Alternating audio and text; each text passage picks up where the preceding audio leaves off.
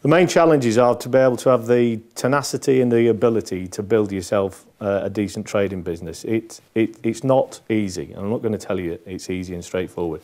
Uh, it often involves quite a lot of tenacity and banging on the door.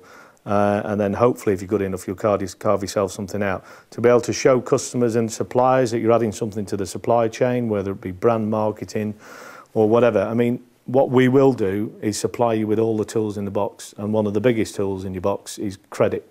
We've got a very good credit rating. We've got a 3.2 million pound credit rating, and that goes a long way. So you'll have no door closed on you for lack of credit.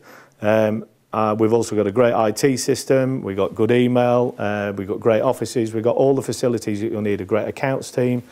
But then it's still down to your own tenacity and ability to carve something out. And once you've done that, you'll find it rewarding.